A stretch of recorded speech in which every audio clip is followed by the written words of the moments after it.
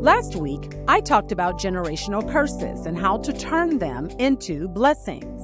If you missed it, please go back and listen to episode 77. Today, I want to talk about Yom Kippur, also known as the Day of Atonement. Yom Kippur concludes the 10 days of repentance that begin with Rosh Hashanah, the beginning of the new year, also called the Day of Judgment or the Day of Remembrance. Yom Kippur is the holiest day of the Jewish year that is observed for a 24 hour period beginning at sundown by refraining from work plus five additional prohibitions. Number one, eating or drinking. Number two, bathing. Number three, anointing the body with oil. Number four, wearing leather shoes. And number five, sexual relations. I read that leading up to and on that day, Jewish people traditionally ask for forgiveness for wrongdoings from God and from fellow human beings. The goal on Yom Kippur, as I understand it, is to, in a sense, transcend and discipline the physical body so that we can focus more intently on the state of the soul. What I want to talk about particularly today is the three main elements of Yom Kippur how they relate to atonement, and what we can learn from them. They are fasting, prayer, and reflection, which ultimately result in reconciliation or atonement. That's all fine and good, but what does atonement mean? In its most simplistic form, it is to do something right to make up for doing something wrong. A good biblical example of atonement is Jesus dying on the cross for our sins. By doing so, he made atonement for our sins, which ultimately result in the penalty of death. The Bible says, For the wages of sin is death. So Jesus stood in our place so we wouldn't have to pay that price for our sins. The Bible says, We all, like sheep, have gone astray. Each of us has turned to our own way, and the Lord has laid on him the iniquity of us all.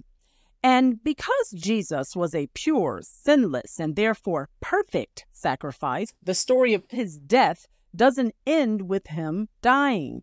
He rose with power over death and over sin on the third day and has imparted that same power to those who believe him and follow him.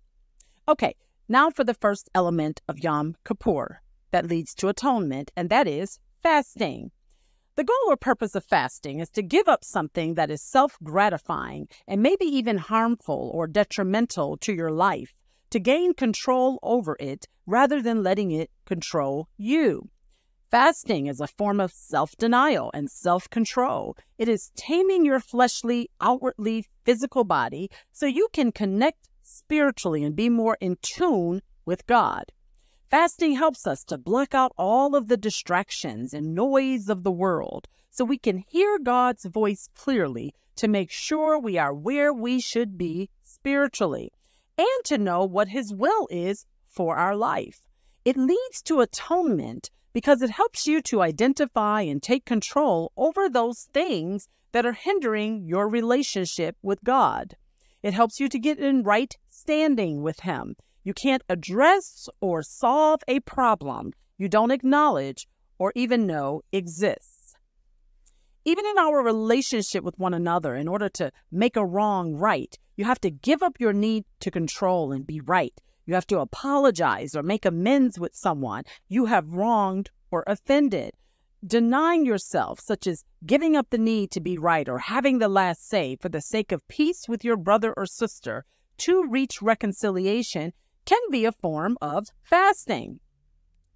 There are some victories uh, that can only be won and some obstacles that can only be overcome by denying yourself for a period of time. There's a scripture that says, This kind can come forth by nothing but by prayer and fasting. So, my fasting question for you today is What have you given up lately that you love or that God is not pleased with? What have you given up lately that you love or that God is not pleased with? Okay, the second element prayer. If you've listened to any of my recent episodes, you know why prayer is important. Prayer is a two way street that allows you to speak to God and hear back from Him. Speaking to Him is great, but hearing from Him is greater because He will di- direct you to stay on the path of righteousness and salvation. God will lead you to repentance if that is what is required. Even with other people, if we pray before opening our mouths or acting, we will always do the right thing when it comes to reconciling with one another. So, my prayer question for you is Do you use any of your prayer time to hear from God or to atone for sins? Okay, and the final element reflection. Uh, one of the definitions of reflection is serious thought or consideration. The other is an impression, such as the image you see when you look into a mirror. It's important to reflect on the condition of your heart and soul not just your physical body, because your soul can affect your physical body if it is not tended to.